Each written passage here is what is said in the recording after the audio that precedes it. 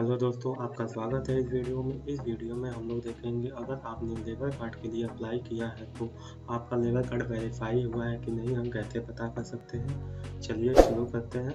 इस समय हम लोग लेबर कार्ड के ऑफिशियल वेबसाइट पर हैं, जिसका लिंक हम डिस्क्रिप्शन में डाल देंगे। यहाँ पे आप देख सकते हैं मीनू में।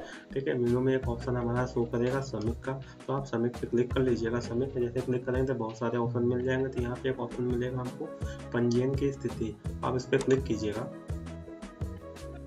यहाँ पे आप देख सकते हैं तीन ऑप्शन मिल रहा है, आधार कार्ड संख्या आवेदन संख्या और पंजीयन संख्या। तो आप आधार कार्ड संख्या से भी देख सकते हैं आवेदन संख्या से भी देख सकते हैं पंजीयन संख्या हमारा बन जाता है, तब मिलता है। यहाँ पे हम आवेदन संख्या को सिलेक्ट कर लेते हैं। सिलेक्ट करने के बाद यहाँ पे आवेदन संख्या को आप फिल कर लीजिएगा। आवेदन संख्या फिल करने के बाद यहाँ पे आपको नीचे मिलेगा कैप्चा फिल करने के बाद यहाँ पे आप कैप्चा फिल कर लीजिएगा।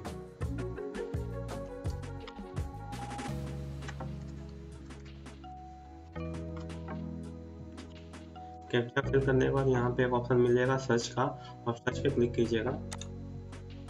सर्च पे क्लिक करने के बाद देख सकते हैं कि लेबर कार्ड का पूरा डिटेल जो हम अप्लाई किए थे, पूरा डिटेल हमारा शो कर रहा है।